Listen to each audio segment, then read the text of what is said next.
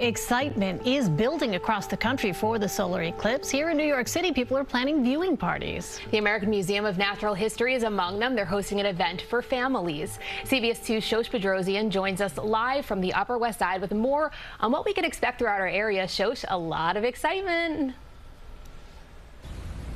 Hey, you guys, a lot of excitement. We were actually just watching a video from the last eclipse that happened in August of 2017. And it, this was a video of someone who was in that pathway where you could see complete totality. It was really cool to see the sun just completely turn to darkness. Everything changed in that one setting. And here in New York City, we're just hoping to see a glimpse of that uh, starting tomorrow. And here is everything you need to know about how to prepare and what to expect for tomorrow.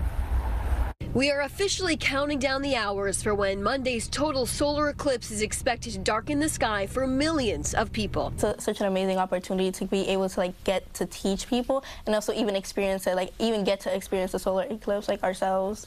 Students at Comprehensive Model School Project in the Bronx have spent the last few days preparing a skit about what takes place during an eclipse. The moon moves around the um, Earth and it stops in, in, the, in the middle of the Earth and the Sun. And it is as simple as that. The total solar eclipse is when the moon will cast a shadow on Earth as the planet rotates. And if you're in the right location, the experience will bring a few minutes of night-like darkness in the middle of the day.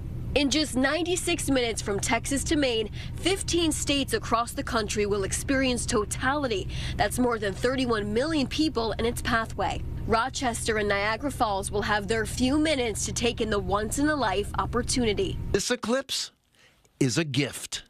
Just watch it and feel how incredibly lucky you are to be standing at this particular place at this particular time. Here in New York City, transit agencies like the MTA are encouraging people to take mass transit over driving to view the eclipse. New York and New Jersey DOT share the following tips on their social media. They suggest to not park on the highway or roadway shoulders, and while it isn't expected to be fully seen in our region, we could see a significant change in sunlight, and they ask drivers to be prepared to turn on headlights if needed.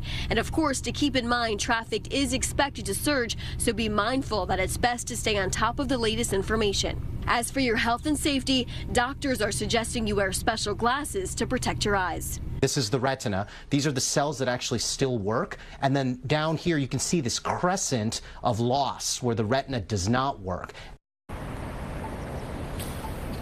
Yeah, of course, doctors are saying if you do look directly into the sun when the eclipse passes, it could cause permanent damage to your eyes. We have some nice sunlight coming through right now on our live shot. I actually decided to put these on. And when you do put these glasses on, these are what you're supposed to wear when you protect yourself looking at the eclipse tomorrow. It actually creates like a orange sun. You can already see the impacts of just what these could do for your eyes. Doctors say it's incredibly important to wear this tomorrow. As we've continued to mention, viewing parties will be happening all across the city. Tomorrow there will be one right here at the Museum of Natural History. We are live on the Upper West Side this morning. I'm Shosh Bedrosian, CBS 2 News. Shosh, I love the CBS glasses. I got to get myself a pair of those.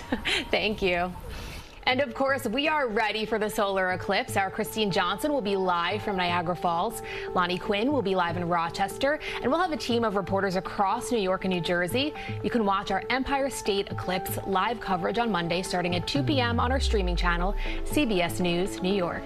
And when the eclipse happens, don't forget to share your pictures with us here at CBS 2 New York. Just scan the QR code on your screen to upload.